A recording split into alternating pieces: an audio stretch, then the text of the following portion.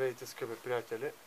Днеска искам да си поговорим малко за спомените, за живота и за това как по тези години отношенията между хората са били други, преди това са били други, а днес са съвсем други. Пред мен, зад мен е Люлина, един от любимите ми мотори, който многократно съм представил за вас през тези две години, откакто правя ревютата.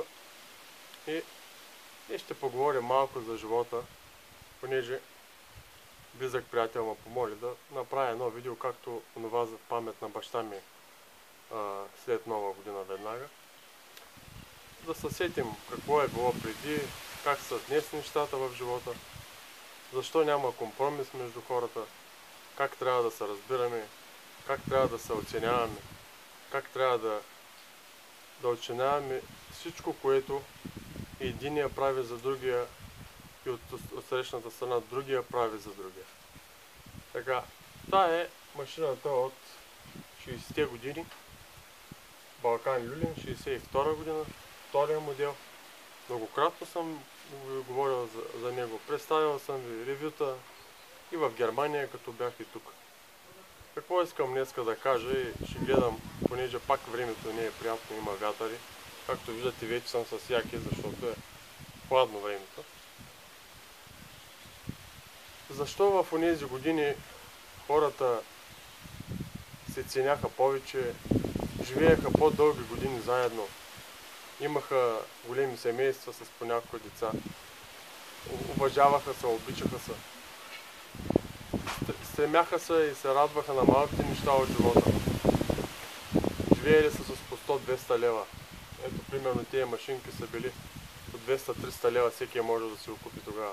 Как тогава хората бяха щастливи с една боза и с едни милинки или баница, а днес дори и скъпи коли и апартаменти и имоти не стигат, за да се задоволи тази нужда, които, които а, хората сами направиха против себе си да бъдат толкова материални в живота и да не ценят малките неща в живота.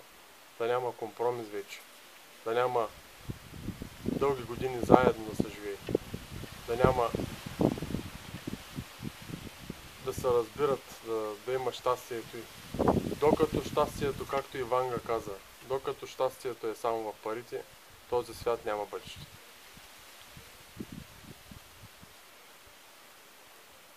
Исках да направя това видео за вас, защото знаете, че обичам да говоря пред камера и не знам дали ми се отдава, просто аз не се срамувам да покажа, да кажа за живота ми, за миналото ми. Всеки е имал трудни моменти. Аз бях сам 5 години в Германия, без семейството близо до мен. Загубих майка ми последната година, когато бях там.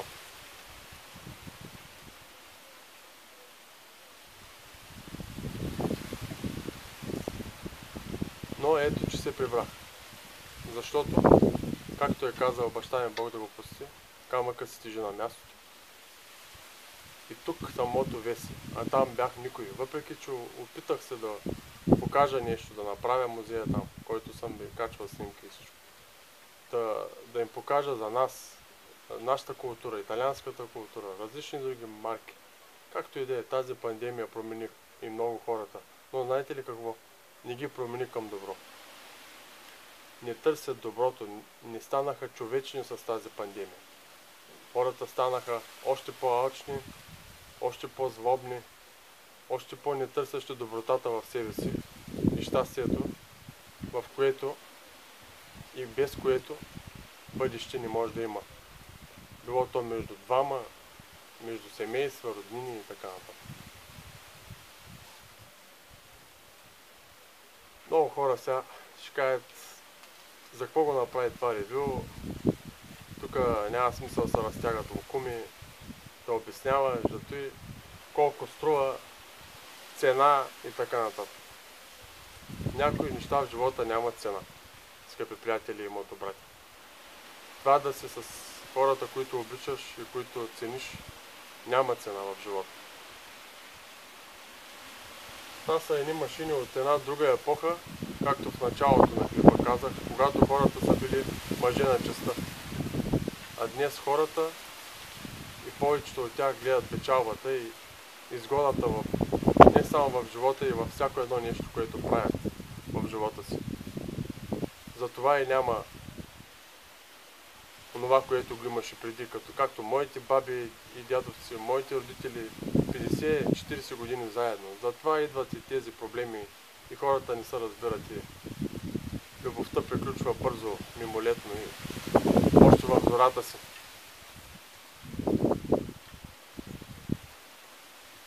Исках просто да ви споделя, защото а, живота тук последните две години за всички ни се промени. Виждате в какво време живеем. И само нещо да, да ви кажа. Да, да цените хората около вас. Дори те да не ви ценят, вие пак ги цените. Пак бъдете с тях. Намерете го този компромис, който е в отношенията. Имате семейство, имате роднини. Добрете се с тях. Разберете ги, те да ви разберат. Седнете на кафе, на баница, на боза. Поговорете, вижте защо, как, как може да бъде, защо трябва да бъде. Както ви казах в стари мои публикации, че поне аз съм го виждал в моя живот, така това стана. Накрая остават при нас хора, остават животните и машините. Само те ни ни предават накрая в, в живота. За мен това е голяма част от живота ми, защото много пъти съм бил сам и, и тежки мигове съм имал, като загубих майка ми. Те ми върнаха към отново към релсата да вървя и реших и да се прибера и така нататък, скъпи приятели. Бъдете живи и здрави. Юлинчето много добър приятел. Няма смисъл да го паля. Той без да го запаля работи. Както много от вас ме питат, запали го. Той е застинал във времето, както и отношенията на много хора и, и, и в миналото. Бъдете живи и здрави, пазете се. Исках малко разнообразие да се върнем към българското, защото все пак сме българи. И тази нация не е била пречупена векове и аз смятам, че и днес няма да се пречупи и България ще прибъде. Но, за да прибъде тя, ние първо трябва да бъдем хора. Трябва да оценим, да разберем и да направим така, че заедно да вървим напред в живота. И другите неща, като са добри, всичко ще е добре. Затова накрая ще завърша с една мисъл. Днеска философски малко съм е тръгнал да я карам. Най-силен е този, който има вас над себе си. Ние ставаме такива, какъвто е света около нас. Добър или лош, богат или беден, то е нашето наследство. Бъдете здрави и Бог да ви пази. Поздрави от Мотовеси.